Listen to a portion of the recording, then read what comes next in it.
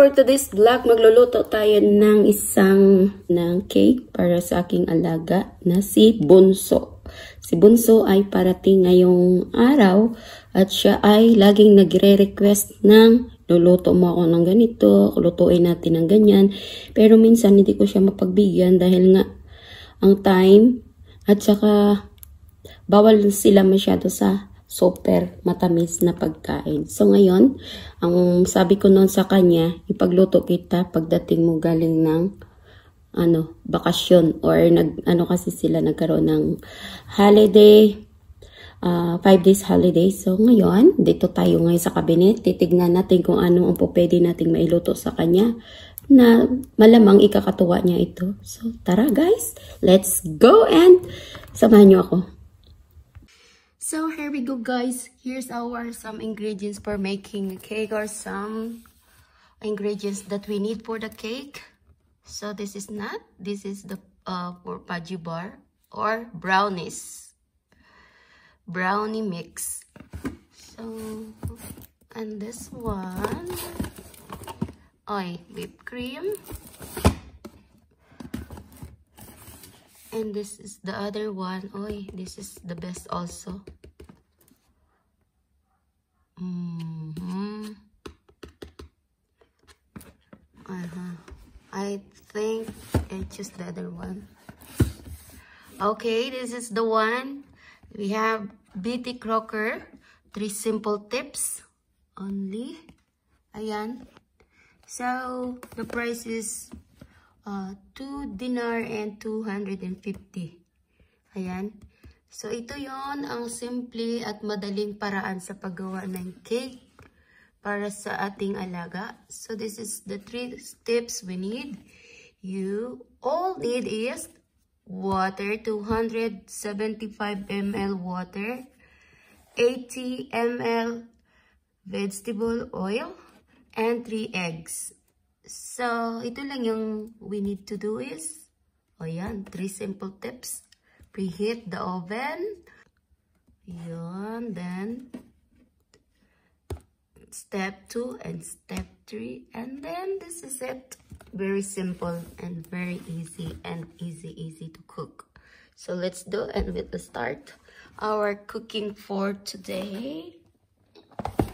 So, this guys, I need to choose either buttercream or this is the dark chocolate.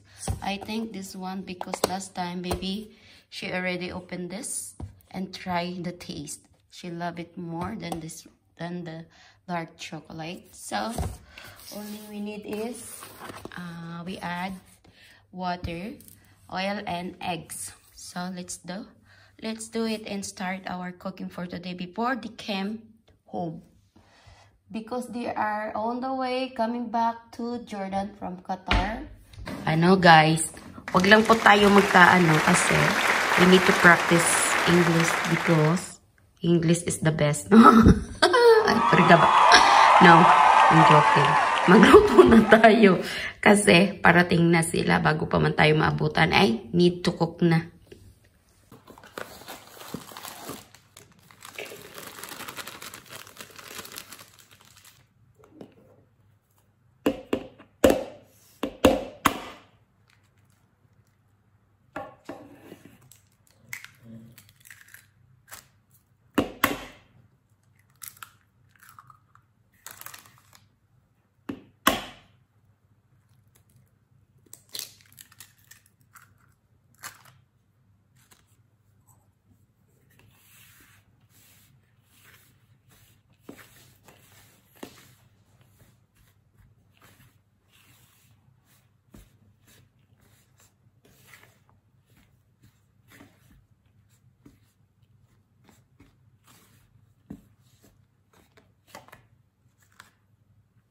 Oil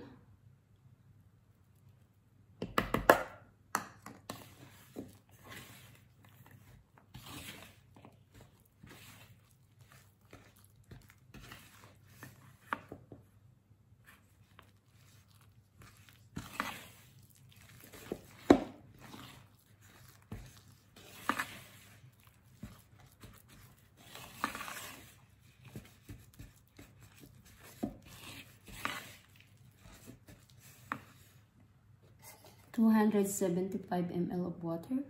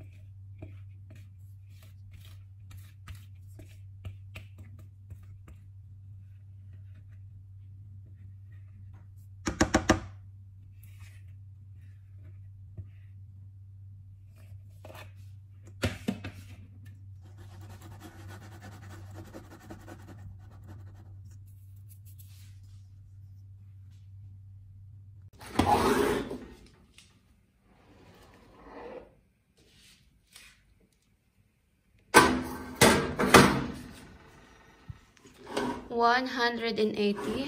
Ayan na.